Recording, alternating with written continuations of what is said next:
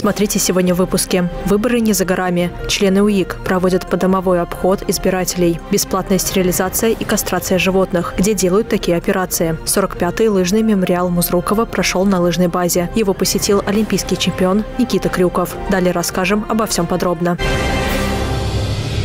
Если вечером раздался звонок в дверь от незнакомца, не спешите его прогонять. Возможно, это члены участковой избирательной комиссии. С 17 февраля по 7 марта они будут проводить подомовой обход в рамках проекта «Информуик».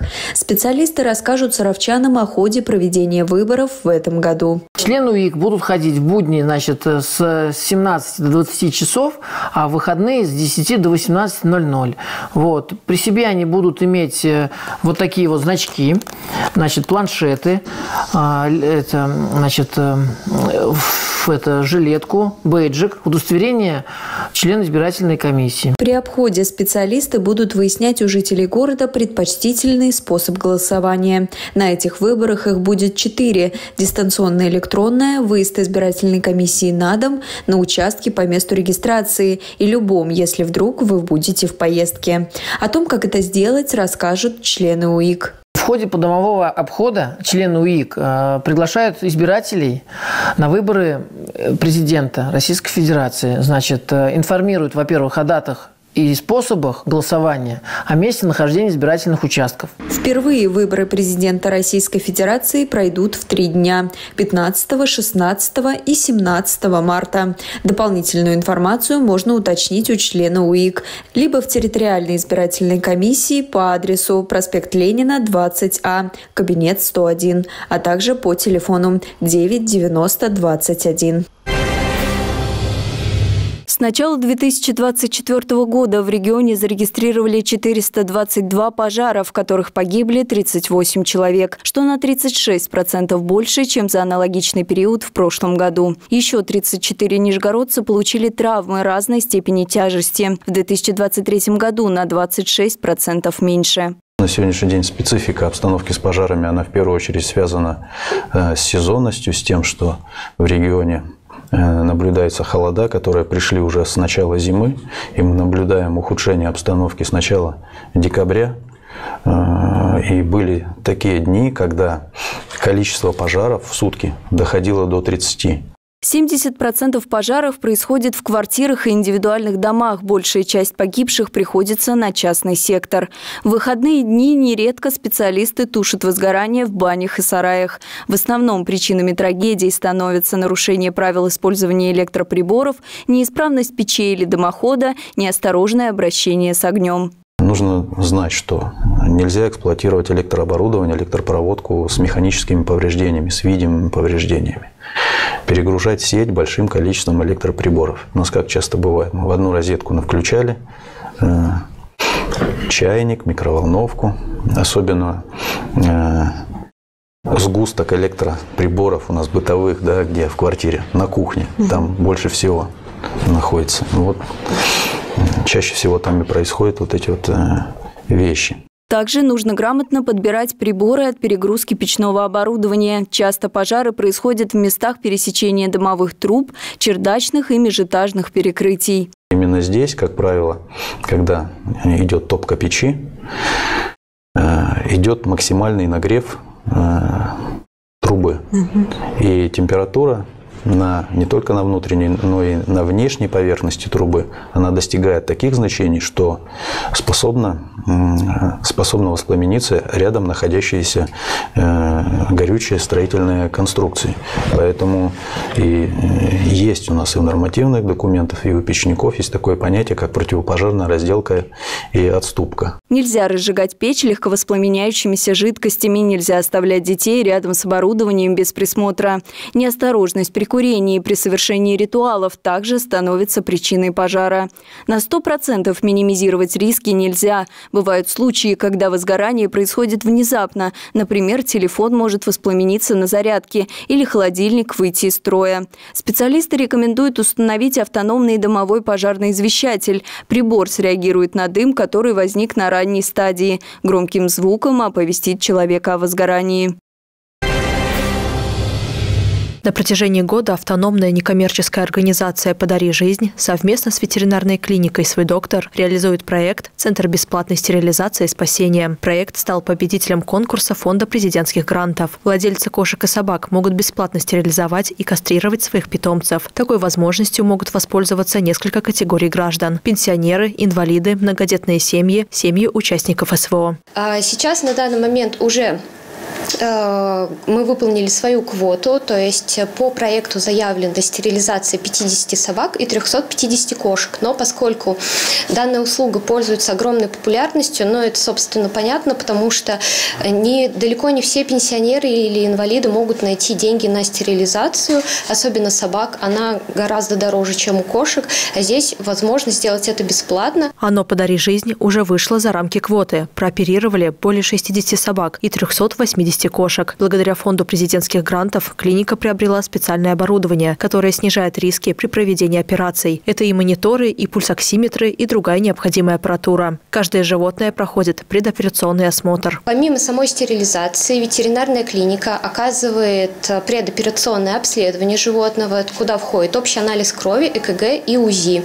И именно по его результатам ветеринарный врач дает допуск на операцию животного, либо направляет на дополнительное обследование исследований, если есть какие-то показатели, которые не дают прооперировать животное прямо сейчас. Проект реализуют в клинике не впервые. Раньше на средства гранта только стерилизовали кошек. Теперь ветеринары проводят и кастрацию. И еще включили в проект собак. Когда вы обращаетесь э, на горячую линию, то нужно иметь э, и приходите уже на операцию, то нужно при себе иметь удостоверяющие документы. То есть это либо э, пенсионное удостоверение, либо удостоверение инвалид, по инвалидности, либо многодетные, либо как раз участники СВО. Вот, и уже по ним вас записывают и принимают. Также оно «Подари жизнь» оказывает бесплатные ветеринарные услуги для животных малообеспеченных граждан или для людей, которые находятся в трудной жизненной ситуации. Проект «Центр бесплатной стерилизации и спасения» продлен до конца апреля. В клинике «Свой доктор» работает горячая линия. Консультация и запись по телефону 3 79 01. Светлана Ярунова, Евгений Шикарев, Сергей Рябов. Служба новостей Саров, 24. Открытие 45-го лыжного мемориала Музрукова прошло торжественно и ярко. От факела огонь соревнований в чаше зажгли именитые лыжники Ирина Хазова, Сергей Шаров и Никита Родионов. После этого старт на спортивной дистанции дал специальный приглашенный гость – олимпийский чемпион по лыжным гонкам Никита Крюков. Традиционный зимний праздник спорта прошел в два дня. На старт вышли порядка двух тысяч человек в нескольких забегах. В этом году лыжный мемориал приурочили и к памятной дате – 120-летию со дня рождения Бориса Глебовича Музрукова. Одним из его выдающихся мероприятий это была так сказать, организация спортивных соревнований и массового отдыха, связанного с лыжами, секцию, которую он возглавлял сам. Ну и, конечно, мы с вами, помня замечательные трудовые и общественные подвиги этого замечательного человека, отдаем дань памяти ему. 45 раз наш мемориал собирает самых юных, уже умудренных сединами, служащих, рабочих, студентов. Это говорит о том, что традиция жива. Это говорит о том, что традиция была заложена правильная. Это говорит о том, что мы сохраним ее в будущем. На старт вышли как саровчане, так и иногородние участники. Помимо спортивных дистанций, в рамках мемориала прошли забеги на 3 и 5 километров в рамках сдачи норм ГТО. Я стараюсь не пропускать это мероприятие уже много-много лет. То есть это такой праздник э, спорта, праздник э, встречи. Э, ну, в общем, короче говоря, спорт норма жизни. Заряжает все вот это, атмосфера великолепная, организация хорошая. На двухкилометровую дистанцию без учета времени вышли руководители ВНИЕВ, города и ветераны спорта. В массовом забеге приняли участие все желающие. После этого наградили победителей и призеров спортивных забегов по возрастным группам. Настоящим подарком для саровчан стал приезд олимпийского чемпиона, трехкратного чемпиона мира, заслуженного мастера спорта по лыжным гонкам Никиты Крюкова. Звездный спортсмен поздравил горожан с открытием мемориала, а после встретился с поклонниками спорта в здании лыжной базы. Для города, тем более для закрытого города, и в связи с этим иметь вот э, такую хорошую лыжную трассу, там летом роллерную трассу, ну, это, это достойно. То есть вы ну, должны радоваться, что у вас такое есть. Всегда кажется, что у других есть, а у нас нет. Ну, не ценим то, чего имеем. То есть здесь вот надо вот благодарить, что такое есть. Никита Крюков поговорил с гостями о спорте, мотивации, личной карьере, спортивных достижениях. Полное интервью с лыжником смотрите в программе «Без комментариев». Во второй день мемориала Музрукова прошли эстафетные гонки среди всех возрастных групп. Светлана Ярунова, Артемий Глазков, Сергей Рябов. Служба новостей Саров, 24. В уникальности Сарова нет сомнений. Город, в котором переплелись православие и наука, всегда привлекал внимание туристов за КПП. Попасть в наш город может далеко не каждый. Грамотно и интересно показать все достоинства, знаковые и уютные места счастливчику могут добровольцы. В молодежном центре прошла встреча школы волонтеров гостеприимства из Выксы. Волонтерство гостеприимства – это движение тех, кто любит свой край, свою родину, свою малую родину, свой город. И тех, кто хочет об, об этом рассказать всему миру, всему свету. Мы хотим обучить ребят, найти активных ребят, которые будут готовы присоединиться к движению, а, стать волонтерами туризма и гостеприимства и рассказывать про город Саров. То есть в идеале наша мечта такая, чтобы в каждом муниципалитете, в каждом городе Нижегородской области был муниципальный отдел отделение этого большого движения. Первые волонтеры гостеприимства появились в 2019 году в Ставропольском крае. За пять лет движение охватило 47 регионов России и дружественные страны. Волонтеры из Выксы создали в нашем регионе выездную школу, в рамках которой посетят Бор, Павлова, Саров и Навашина. В 2023 году я выиграла грант в рамках конкурса «Драйвера роста». Это наш областной грантовый конкурс на проведение выездных школ. Ребята, благодаря участию в наших мероприятиях, мероприятиях на самом деле сами узнают, какие же интересные места есть у них города, и что они зачастую забывают, что туда тоже можно сходить, отдохнуть, э, где-то как-то развлечься, покушать, что-то посмотреть. В ваш город попасть сложно, но ребята могут делиться этим э, на медиаресурсах, снимать видеоролики, писать статьи, рассказывать, какой же интересный город есть, хоть сюда и трудно попасть. Гости познакомили саровских студентов и активистов со своим проектом, провели тренинг по компетенциям. На креативной сессии саровчане создали туристический маршрут города. Дарья Козина, Евгений Шикарев, Сергей Рябов. Служба новостей Саров-24. Проект «Мам-футболиста» в нашем городе проводится впервые. Конкурс приурочили к году семьи. На него зарегистрировалось пять мам. Всем им предстоит пройти несколько этапов. Снять видеовизитку «Утро на спорте», пройти кулинарный конкурс «Битва салатов», принять участие в фотосессии «Будь в форме», выполнить испытание ГТО легко, стать организатором благотворительной акции «Команда добра». Даже если, да, мы все предполагаем, даже если на какой-то этап мама не смогла по тем либо иным, иным причинам подойти, да, она обязательно вернется в строй и будет дальше проходить по другим этапам. И только в конце мы скажем, кто стал лучше из лучших. Титул «Лучшая футбольная мама Сарова» получит участница, набравшая наибольшее количество баллов на всех этапах. Мария Иванова отмечает, что с мероприятия никто не уйдет без подарка. Жюри обещает быть справедливым но не строгим. У нас есть сюрприз для всех мам. Всех их обязательно ждут определенные номинации. И, в принципе, я не исключаю того, что, может быть, произойдет какое-то чудо.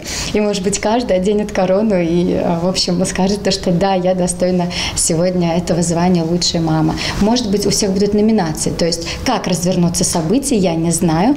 Но у нас мы предусматриваем разные варианты. Первая встреча с мамами прошла в дружной и теплой атмосфере. Участницы познакомились, рассказали о себе. И для каждой из них это новая ступень. На конкурс они пришли, чтобы зарядиться новыми эмоциями. Хочется, наверное, познакомиться с новыми людьми. Интересно что-то для себя открыть.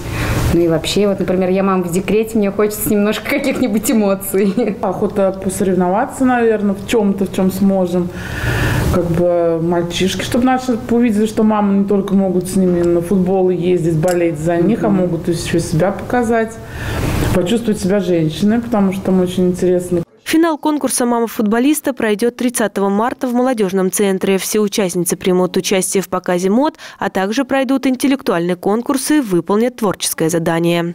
Ирина Вышегородцева, Евгений Шикарев, Сергей Рябов. Служба новостей Саров 24. Рисунки, аэрография, резьба по дереву, декоративные композиции, вязаные и вышитые салфетки, авторские народные куклы. Таким творческим многообразием может похвастаться семья Поздняковых – Квач. По словам научного сотрудника Музея народной игрушки Ольги, все началось с ее дедушки Виктора Михайловича Артюхина.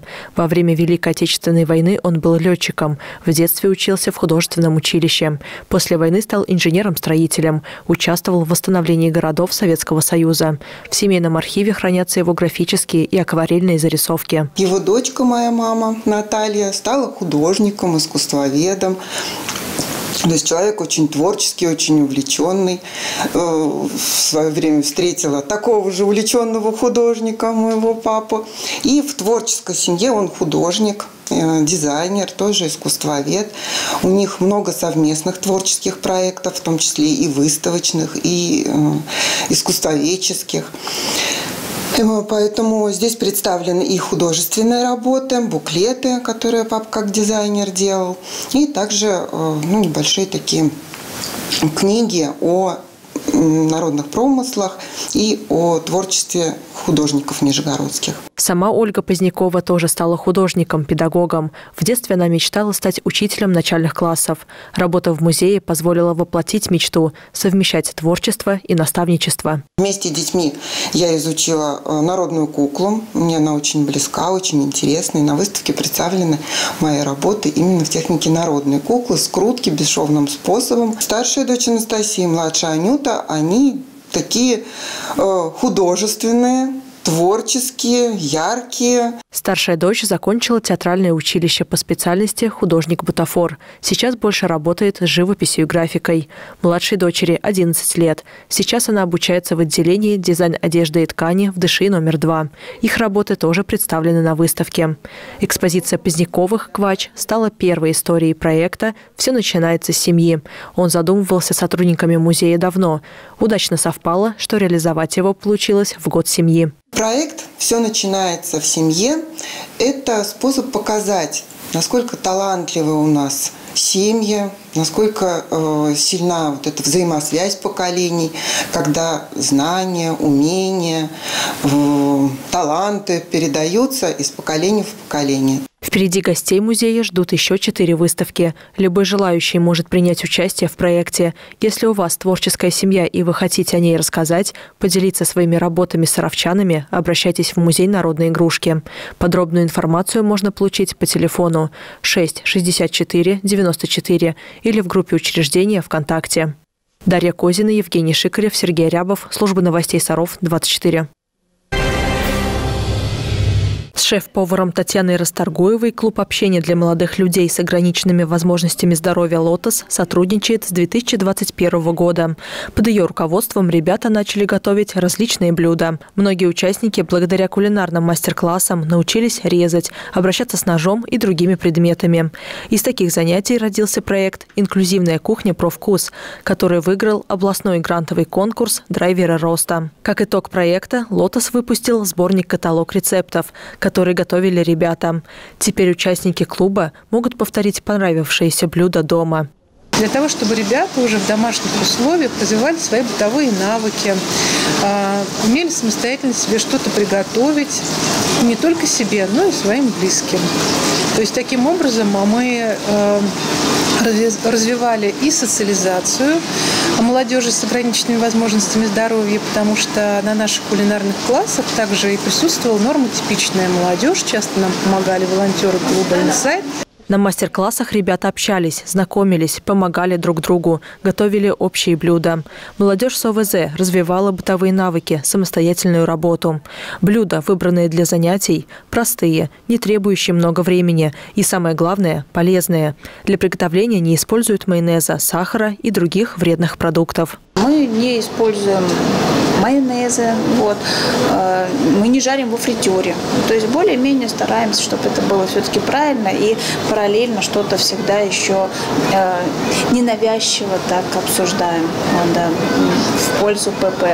Ребята очень дружные, они прям коллективом уже э, тут работают, у нас работа слаженная, вот, а дальнейшее готовить и готовить еще очень много блюд, которых можно с ними будет реализовать. Проект «Инклюзивная кухня «Профвкус» уже завершился, но ребята продолжают осваивать кулинарное мастерство. Татьяна Расторгуева и Екатерина Никанорова уже думают о новом проекте, где учениками бы выступили дети с ОВЗ, а участники «Лотоса» – наставниками. Ребята уже получили каталог э, с рецептами. Я надеюсь, что они им пользуются и дома готовят по нашим рецептам. Кроме того, в каталоге еще и фотографии со всех кулинарных мастер-классов. А, и этот каталог будет реализовываться, конечно же, еще в рамках благотворительного марафона «Город. Единство непохожих», который мы запустим в конце апреля. Все горожане во время мероприятий благотворительного марафона смогут приобрести каталог. Все вырученные средства пойдут на поддержку людей с ОВЗ. Светлана Юрунова, Евгений Шикарев, Сергей Рябов. Служба новостей Саров, 24.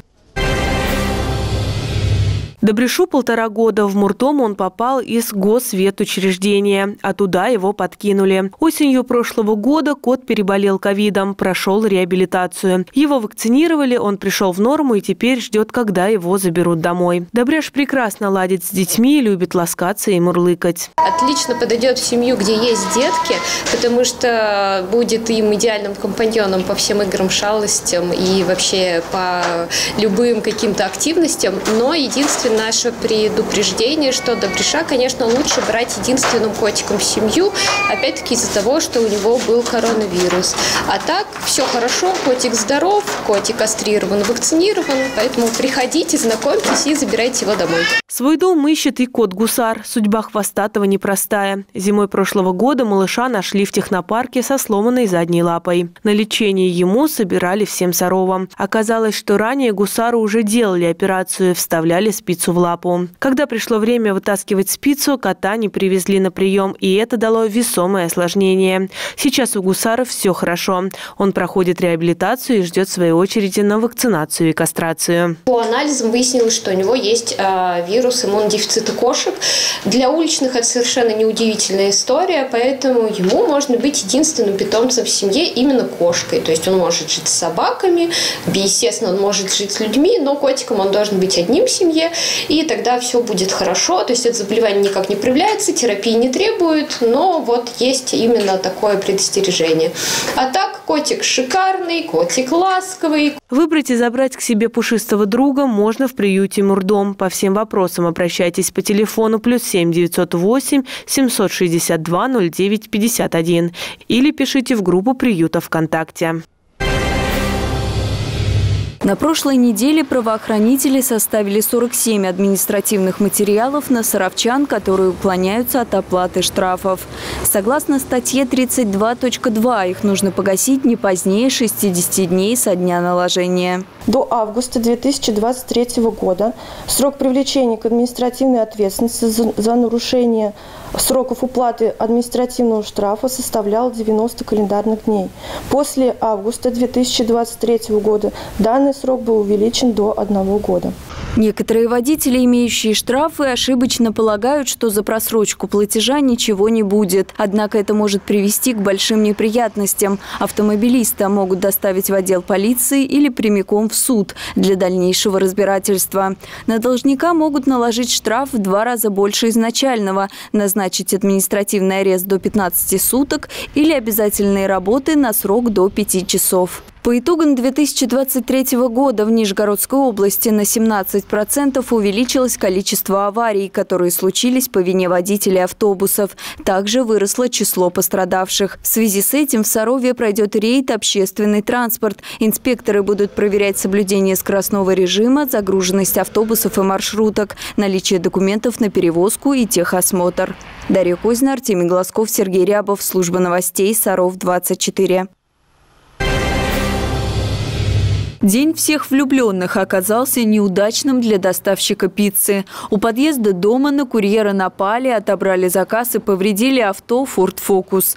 Полицейские возбудили уголовное дело по статье 162 УК РФ «Разбой». 18 февраля с избиениями в приемный покой поступил 32-летний мужчина. Получил, с его слов, при драке у кафе по улице Курчатова. Диагноз, поставленный в КБ-50, ушибленные раны подбородка, ссадины и алкогольное опьянение. В одном из магазинов по улице Куйбышева саровчанка украла продукты на сумму около двух с половиной тысяч рублей. Полицейские возбудили уголовное дело и нашли преступницу. Выяснилось, что женщина ворует уже не в первый раз. До этого она привлекалась за мелкое хулиганство. Улов крупнее получил уже известный многим саровчанам мужчина, который представляется специалистом по дезинсекции. Зарегистрировано сообщение от гражданина, а, проживающего по улице Московская, о том, что неустановленное лицо похитило денежные средства а, в сумме 13,5 тысяч из его квартиры. Как было установлено в ходе проверки, саровчанину позвонили в дверь, сказали, что предложи, предложили поморить таракан в квартире.